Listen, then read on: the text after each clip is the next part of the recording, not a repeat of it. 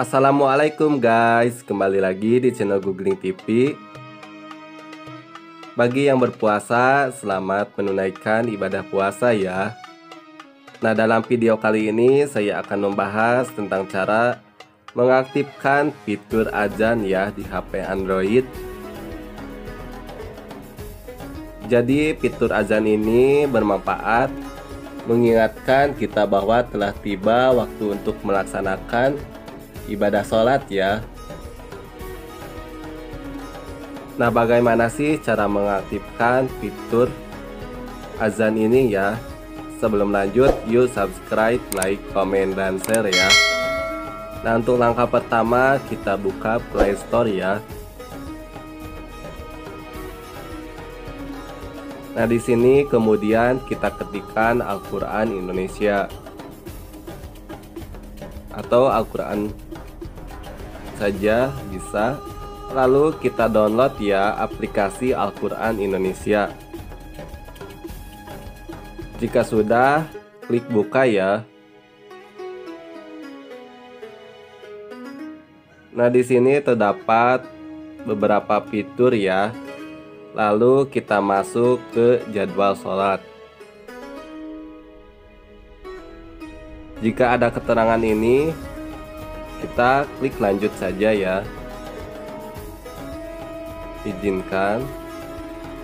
Di sini sedang mencari lokasi ya.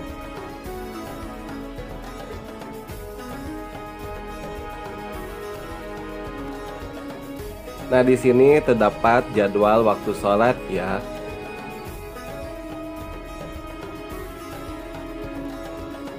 Lalu cara mengaktifkannya kita klik ya di jadwal waktu sholat. Contohnya saya waktu zuhur ya. Nah kemudian pilih notifikasi ya.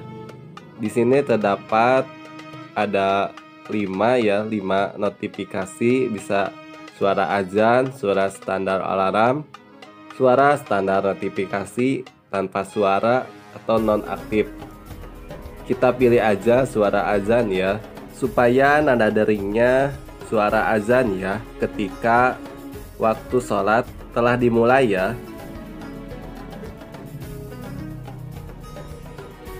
Kemudian kita aktifkan semua ya waktu sholat dengan suara azan. Kita aktifkan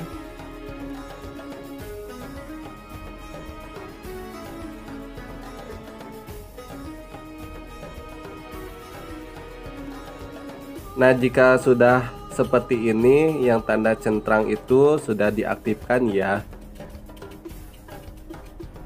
Nah, itulah cara mengaktifkan suara azan ya di HP Android. Semoga tutorialnya bermanfaat. Terima kasih.